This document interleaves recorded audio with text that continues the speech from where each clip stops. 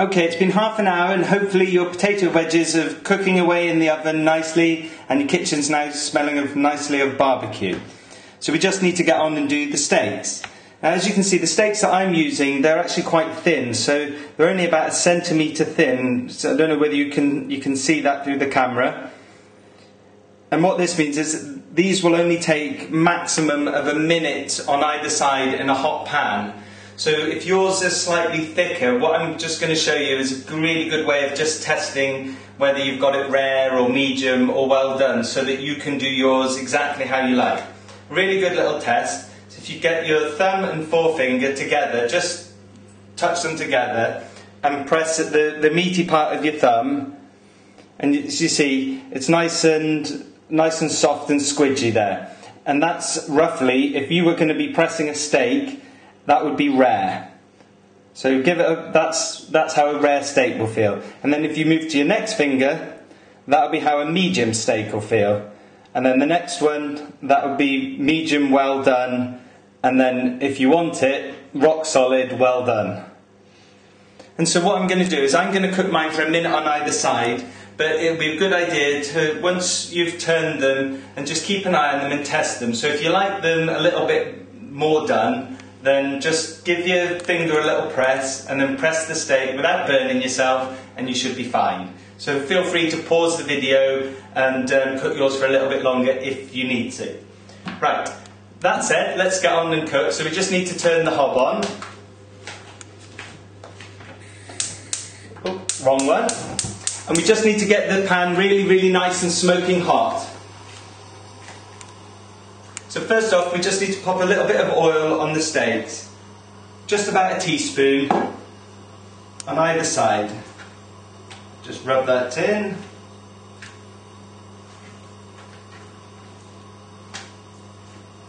And then we're going to put some salt and pepper on both sides. Oh, pepper mill's not working, hold on a sec. Go. Luckily I've got a spare.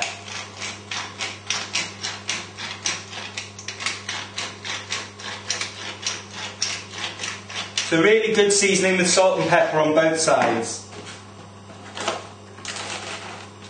And then a good pinch of salt. And this will help make it a really, really nice, crispy, caramelized outside for the steak. That's exactly what you want. So a little bit more pepper.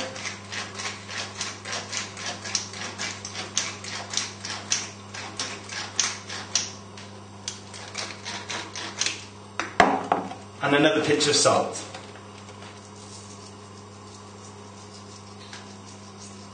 And what we've done is we've put the oil on the steaks now and we don't add any oil to the pan. This way it lies flat against the pan and gets a really nice seal to it and adds to the, the caramelization. So if you can take the steaks over to the pan and it's just starting to smoke, we'll just leave this another sort of 20 seconds or so Hopefully yours is starting to smoke too. That's you really want to get it as hot as possible so it will instantly seal the meat. And I'm going to try this will be really noisy so I'll turn mine after a minute. If you just keep your eye on it on the video, you'll be able to see when I turn mine because I'll try and keep my voice stop talking because you won't be able to hear me. Right, so in with the steaks and you should hear a really loud sizzle.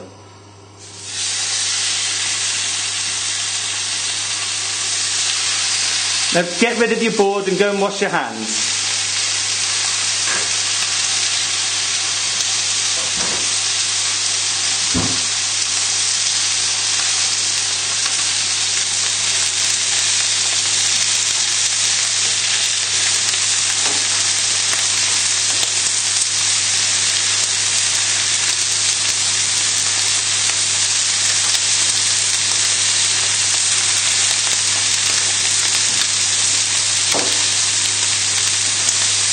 And you don't need to do anything to it. You just leave it in, in the pan and it'll be creating a nice seal against the bottom of the pan, going nice and caramelized.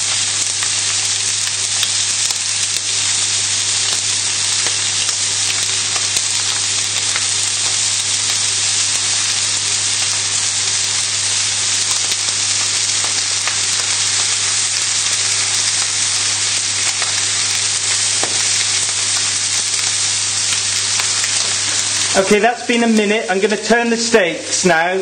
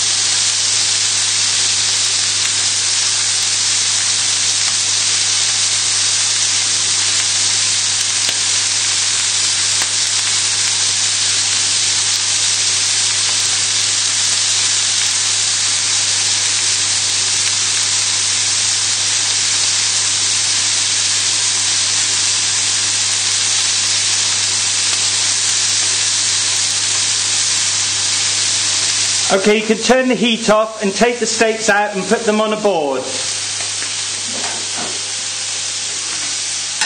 Right. And hopefully yours will be looking like this now. Really nice and caramelised. And if you give them a little press, see there's still sort of uh, quite a lot of give in them and that'll be medium. But again, if yours need a little bit longer, just pause the video and come back when you've got them as you like. But Go and put, when they're done, pop them on your work surface.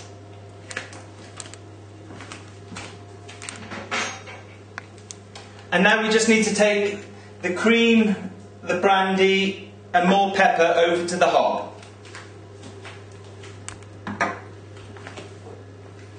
Right, to make the sauce, you just need an awful lot of pepper, a job lot of pepper. So just keep going, keep going, keep going.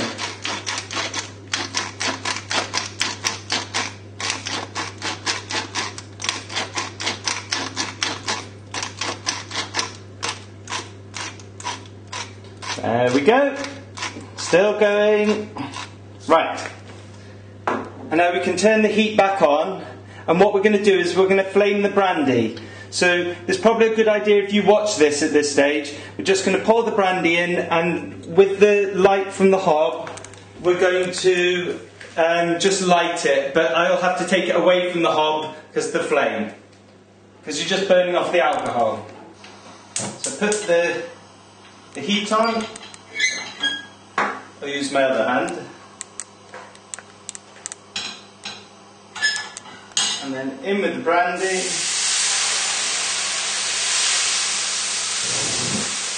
Oh, there wasn't much flame at all, it just burnt off instantly. That's good.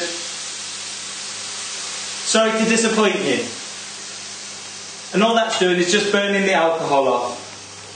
But it's a good job, it's a good idea to take it away from the from your hob top.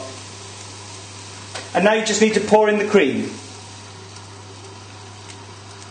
About 100 millilitres of cream.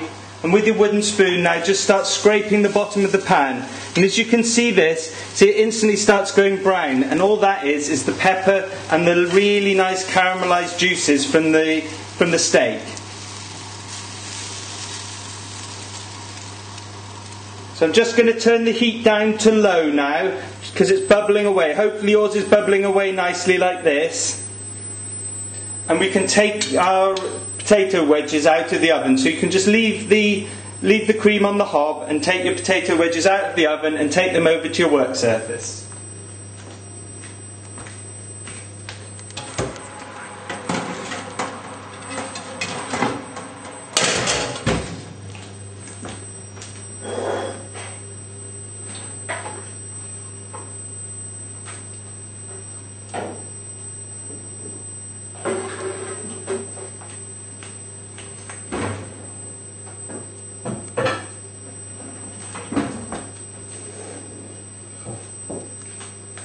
Okay, it's bubbling away nicely. Just give it another little stir now. It's just reduced down ever so slightly the heat of the pan. And that's ready to serve. So you can turn the hob off and take your pan over to your work surface.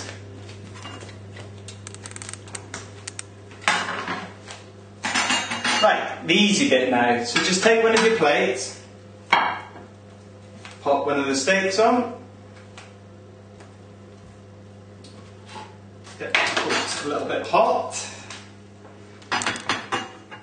Take some of your wedges, hopefully they're nice and crispy now.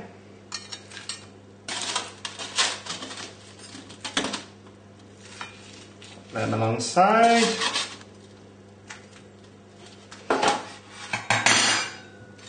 Just stack these up a little bit. And then just a little, little bit of watercress on the side. And then the only thing left to do is the sauce.